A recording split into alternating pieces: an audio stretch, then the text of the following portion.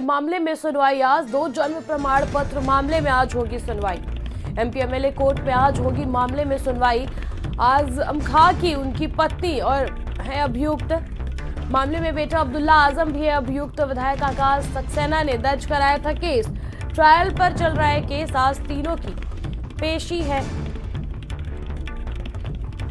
संवाददाता ओपाल हमारे साथ जुड़ चुके हैं। ओपाल देखिए, दो जन्म जन्म प्रमाण पत्र मामले में आज अब्दुल्ला आज़म खां की और उनके पिता आज़म खां और उनकी जो माता है, उनकी पेशी है। क्या कुछ अपडेट है इसको लेकर?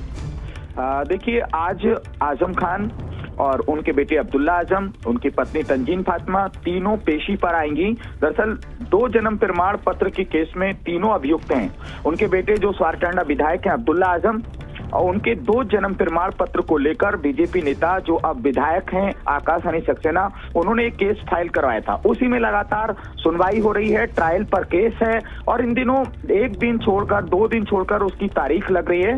हालाँकि दो तीन दिन से जो तारीखें लगी हैं, उस पर आज़म खान आज़म खान के कोई परिवार के सदस्य वहाँ पर नहीं पहुँचे हैं। ना बेटा उनका अब्दुल्ला आज़म, जो स्वारटांडा विधायक है, वो कोर्ट पहुँचे, ना उनकी पत्नी, ना आज़म खान। तो ऐसे में आज कोर्ट कोई बड़ी कार्रवाई कर सकता है, कोर्ट कोई बड़ा एक्शन ले सकता है, क्योंकि तमाम सारी चीज़ों को लेकर जो उनके एडवोकेट्स हैं जो हाजिरी माफ़ी के लिए प्रार्थना पत्र देते हैं, उसको कई बार कोर्ट ने खारिज किया है। कई बार हरजाना की भी कार्रवाई आज़म खान के परिवार पर हुई है। तो आज बड़ा इम्पैक्ट कोर्ट में देखने को मिल सकता है, कहीं राहत भी मिल सकती है, लेकिन ज़्यादातर जो चांस लग रहे हैं वो आज़म खान और उनके परिवार के लिए आज लग रहा है कि कोर्ट कोई एक्शन ले सकता है, उनके ना आने को लेकर। बिल्कुल, तमाम जानकारी के लिए आपका शुक्रिया।